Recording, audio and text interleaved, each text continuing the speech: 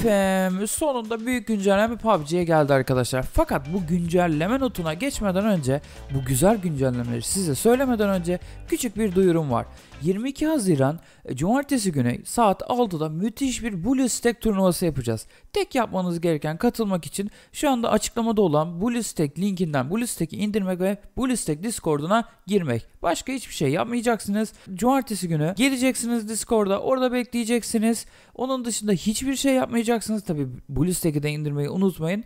İndirdikten sonra tek yapmanız gereken BlueStack turnuvasını beklemek. Unutmayın bu cumartesi yani 22 Haziran saat 6'da hepinizi YouTube'daki canlı yayına bekliyorum. Yani benim kanalıma bekliyorum. Buraya bekliyorum. Şimdi sizi daha fazla bekletmeden hemen güncelleme notlarına geçelim. Öncelikle birazcık biliyorsunuz bir rahatsızlığım olduğu için facecam'le video çekemiyorum ama bu videoyu kesinlikle size çekmem gerekiyordu. Sesim birazcık değişikse onu şey edin işte siz görmezden gelin. Şimdi gelelim güncellemeye. Güncellemede çokça araç yenilemesi, araç eklemesi ve bunlara ek olarak çokça kritik değişiklikler bulunmakta. Artık normal BP kullanarak oyun için daha fazla item alabileceğimiz söyleniyor. Umarım doğrudur bu arada. Güncellemenin dikkat çeken ve en önemli gördüğüm iki yeni eklemesi bulunuyor. Biri oyuna eklenen Deagle yani kas güçe iki vuruş atabilen yani iki vuruş sonrasında kas gücü kırabilen bir silah ve BRDM-2 isimli amfibi hücum aracı. Yani bildiğiniz yeni bir araç var oyunda.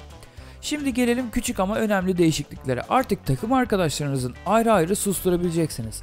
Ek olarak ses düzeylerini bile ayrı ayrı ayarlamak mümkün. Bu güncellemede özel XP görevleri, custom oyunlar için daha fazla ayar ve haritaya göre özel renk ve parlaklık ayarları yapabileceksiniz. Evet doğru duydunuz artık zırhlı Yuaz yerine Yuaz artık nasıl okuyorsanız 2500 HP'lik 2500 canlık ee, bir 2 UAZ gücünde 2 UAZ sağlamlığında bir amfibi hücum aracımız var.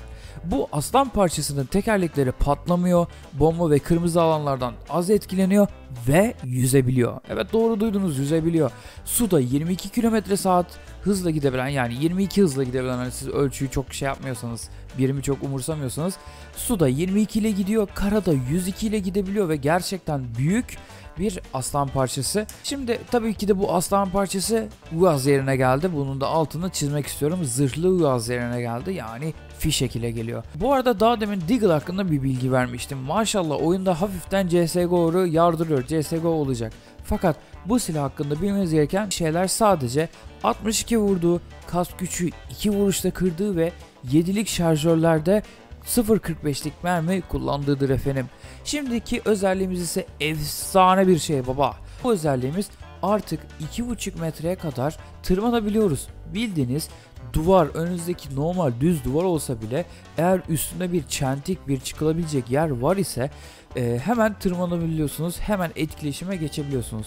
Bu özellik sadece test serverında kalabilir. Şu anda deneme amaçlı yapmışlar fakat çokça e, bug ve benzeri şeyler ortaya çıkacak ise bunu yakın zamanda normal PUBG'ye e, eklemeyi düşünmüyorlar. Sadece test serverında kalabilir. Şimdi geldik e, güzel değişikliklere. Artık yerde gördüğünüz gaz tanklarını uzaktan patlatabilir ve etrafınızdakilere o tankın etrafındaki düşmanlara veya arabaya zarar verebilirsiniz. Yani hain planlar yapabilirsiniz.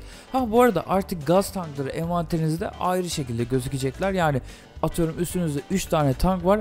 3 adet alt alta tank ismi gaz, gaz tankı göreceksiniz. Bu arada tank dediğimi şey yapmayın. Ee, bir de ek olarak e, hiç kullanmayacağımız, kullanmayacağınız bir F3'te radyo özelliği mevcut. Şu anda ekranda gördüğünüz gibi güzel bir arayüzü var. Fakat genelde oyun içinde böyle şeyler çok kullanılmıyor.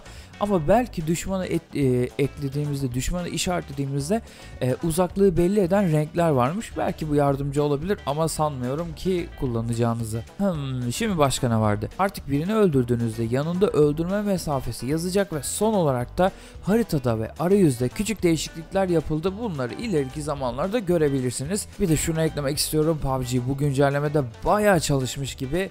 Teşekkürler PUBG. Kendinize de iyi bakın. Umarım video beğenmişsinizdir. Hızlı bir video oldu. Fakat bu PUBG'deki bu büyük güncellemeyi size anlatmam gerekiyordu. Kendinize iyi bakın. Görüşürüz. Bu arada facecam'siz video çok garip oluyormuş ya. Ekrana bakarak konuşuyorum. Böyle bir sabit bir nokta belirliyorum. Kamera gibi konuşuyorum.